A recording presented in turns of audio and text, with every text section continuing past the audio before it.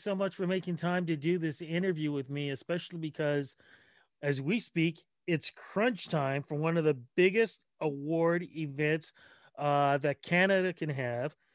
Plus, the fact that we're doing this on virtual because usually I'd be on the red carpet mm-hmm. talking mm. to you, and we're not doing it this year. First, I got to ask you personally, how are you holding up throughout COVID 19? And you know how, how your crew and everybody else how are they doing as we're coming closer and closer to i like i said canadian entertainment's biggest night? Yeah. Um, you know i think every day is a uh, you know a different day. It's it's a it's a wild ride but um, i do think that having this um, you know such kind of a joyous thing to focus on you know celebrating our our content creators is really nice. And uh, it's a great distraction from um, the craziness of the world. You know, we have been working remotely for over a year now, like everyone else, but it's very it's very very uh, unique to produce an event like this uh, completely remotely you know i mean so much of production and why i love you know the awards is because you're all coming together to try and accomplish something and there's like a cadence to it. You know there's a run up there's so much stress but you just get through it as a team and you put out fires and and then you know you're in the moment and then you know you deal with all the messes that you left behind. But um, so it's really kind of weird and lonely to be doing this uh, without any of my team members in person. Let's talk about last year because so many things were going on. I remember when I was dealing with the Juno Awards, I was literally on the plane, found out the Junos weren't going to happen, got off the plane to Saskatoon, jumped literally on another plane to head back to Toronto. It was crazy. Then, of course, I'm wondering the Canadian Screen Awards, the big, you know, the biggie. What's going to happen with that? What was going on with you guys when literally Canada and the rest of the world shut down through entertainment and other type of venues knowing that covid-19 was happening for real and it was going to affect all of us in so many different ways. I mean i remember uh, talking to a friend of mine who sort of has like ins with like public health and like government things and i was like so what do you think? Should we cancel it? That was like the question. We were all like should we cancel it? Shouldn't we cancel it you know, South by Southwest had canceled and people were up in arms, you know, culture needs to live. Uh, and, and I was like, should we postpone it? And they were like, I, this is, it's going to be years. And I was like, what? I was like, come on, really? And they were like, really? And I realized then that uh, things were going to be different. But you know, we had two weeks. Uh, we are two weeks after the Junos. Generally, you know, we're always kind of within two weeks of each other, um, and so we we did cancel. You know, and we were two weeks out, um, and we had a lot of financial repercussions for that. But you know, we didn't have people, you know, who had traveled to the location and you know, didn't have whole crews travel to that location. So um, it was much easier to deal with. But I will not lie, we did actually cry in our conference room. we didn't realize what the whole, you know, what the global pandemic meant. It wasn't a pan- global pandemic at that point, I don't think. Um, and uh, we, we were just kind of upset. I was upset that, you know, our staff members who it was their first year uh, weren't going to be able to experience what they had been working towards. Because for um, me, Canadian Screen Awards, it's part of my year.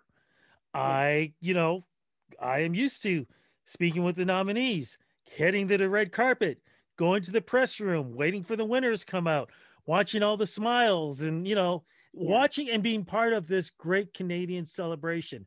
Not having it was like you, you almost you feel lost. Yes. Like what what's going on? This is not supposed to be happening. So you guys have had a year to go through this to watch what's going on. So, what can we expect now for this year's Canadian Screen Awards? How are we going to see it online? How are we going to see it televised? How is this all working?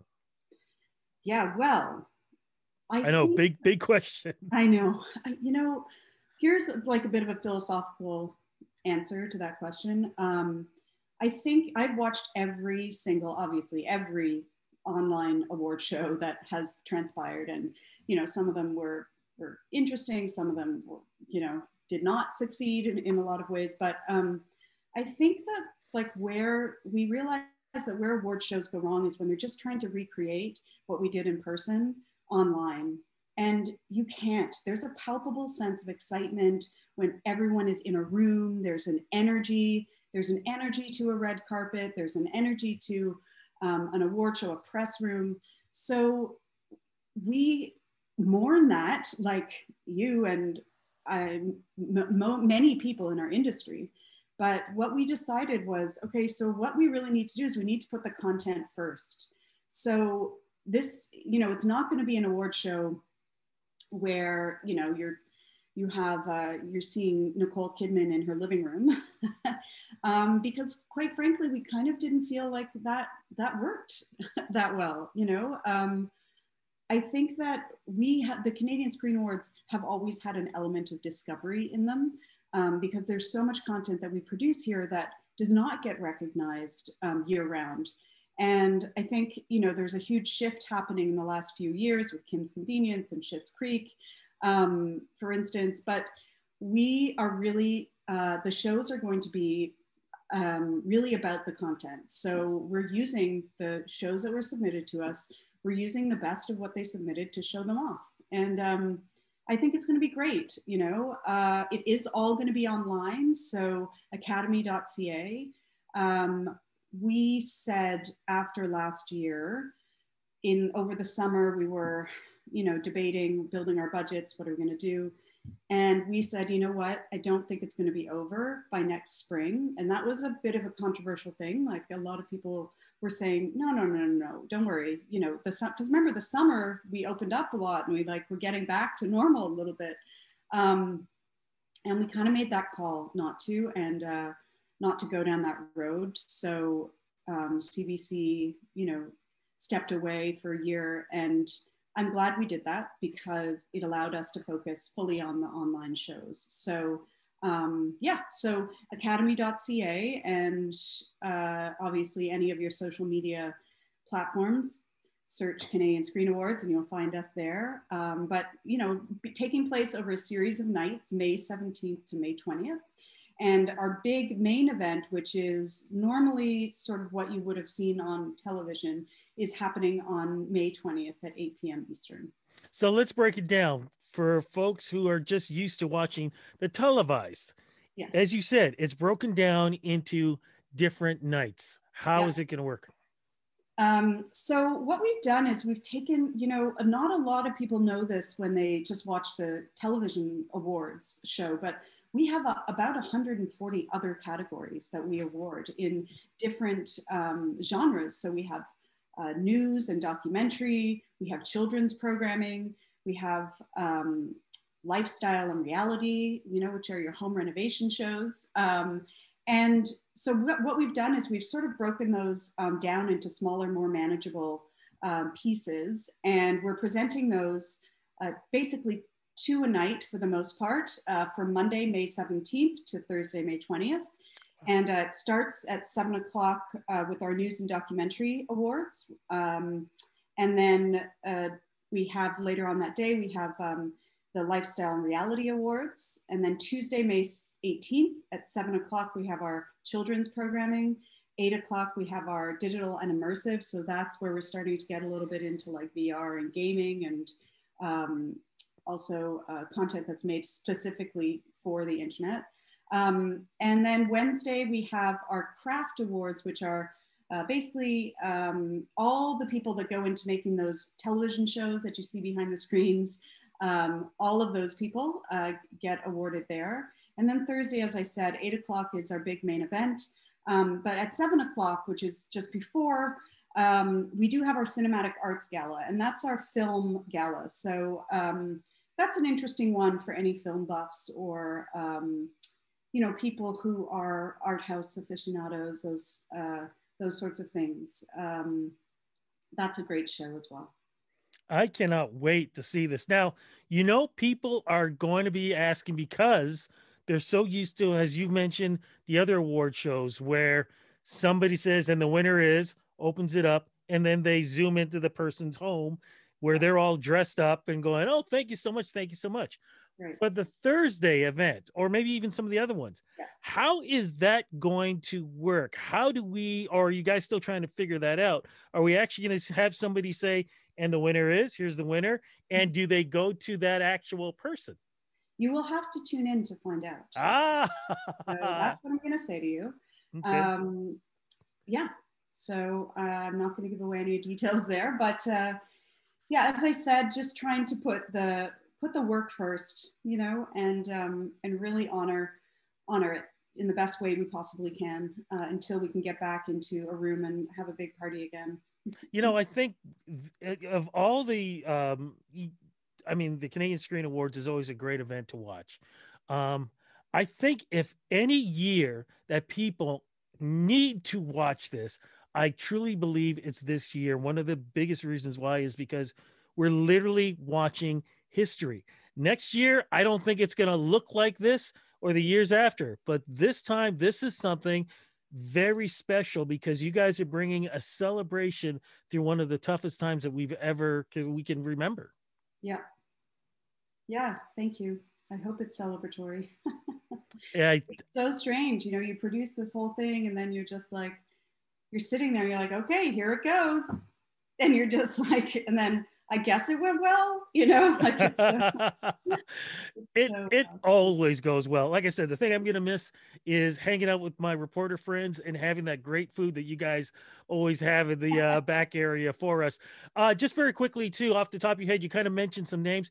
What shows or you know things that we're going to see big nominees that are going to be part of this? You mentioned uh, a little bit like Schitt's Creek mm-hmm. and Kim's Convenience. Who else can we be looking at? I mean, I think one of the shows that uh, sort of broke into the scene this year was uh, Transplant, the uh, drama from uh, CTV, and um, you know, I we haven't had sort of one of those um, procedural style shows really break through in Canada uh, in on the drama side for a really long time. So um, that was very exciting um, to see. And um, yeah, I mean, we have a lot of shows that are going away this year, which is very sad, um, but also, you know, it makes room for for new shows. So it gets uh, gets everyone on their toes, looking for new talent. So um, so we're excited about that. And you know, I think the other thing is uh, this year our film awards are really, uh, you know, they're really they're very interesting and they're all very different and they're all um, engage you and sort of keep you along for the ride throughout the film. And uh, I'm really excited to honor them because it's been frustrating for so many filmmakers not to be able to have their films premiere on a big screen.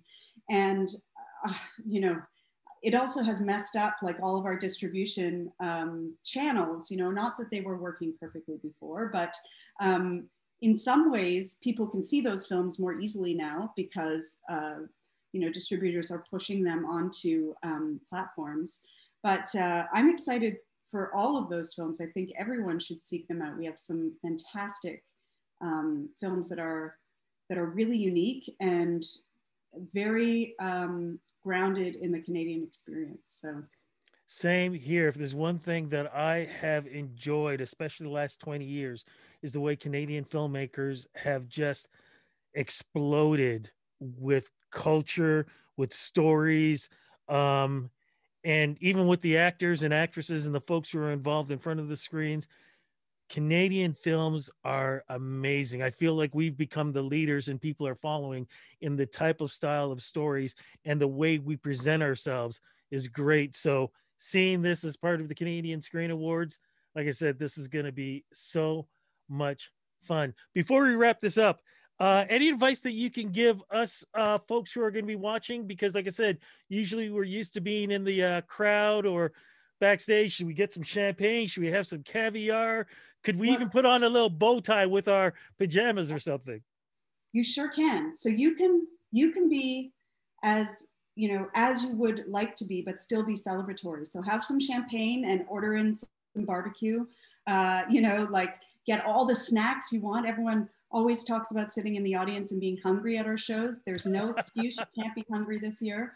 Um, and uh, yeah, so we also have a, you know, we're, we're doing some fun things. There's a cocktail recipes that you can uh, look up on our social media um, if you want to. And, and, you know, a lot of people are having Zoom parties. So they're, or they're having watch parties for the awards. So I know that a lot of, for instance, crews are getting together and they're all watching it um, together and so that they can celebrate together. So, uh, you know, if you can do that and you have a friend, one of those, one of those reporter friends that you want to, um, you know, have join, you should do that. Looking forward to it. Okay. So one more time, when does it begin? What days? Uh, and also, where do we log in to watch the excitement and the fun? Okay, so first of all, you can just go to academy.ca. It's very easy to remember. We will be there uh, starting Monday, so in a week, um, starting Monday at 7 p.m. Eastern, and then going Monday, Tuesday, Wednesday, and Thursday night um, at 7 is our Cinematic Arts Gala and then um, that 8 p.m. is our main event. So um, please come, enjoy, watch. We'll, we'll be on YouTube, we'll be on Twitter, but you can start at academy.ca to find out, you know, where, what platform you want to go to to watch it. Fantastic. Beth, thank you so much for your time. Thank you, thank you for thank you you and your crew and everybody else involved for keeping this great event alive. And I am so crossing fingers Maybe I might have to wear a mask, but next year I am so hoping I will be on the red carpet. But like I said, if I gotta wear a mask, I don't care. I just want to be there. I want to see the stars. I want to be part of the excitement, and I want to be able to eat that great food that you guys have back in the uh, press area. Thank you again for the interview. Okay, thanks so much, Rudy.